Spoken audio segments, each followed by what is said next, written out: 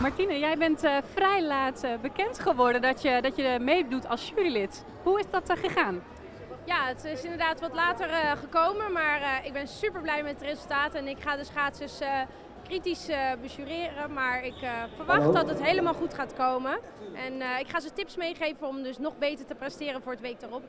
Ja, jij weet natuurlijk als geen ander hoe het kunstschaatsen in elkaar zit. Waar let je nou extra op? Ja, zelf vind ik de techniek gewoon heel belangrijk. Hoe beter de techniek is, hoe beter je kan schaatsen. En uh, ik verwacht dat ze natuurlijk uh, perfect les hebben gehad. Dus ik ben zeer benieuwd wat ze 1 januari aan mij laten zien.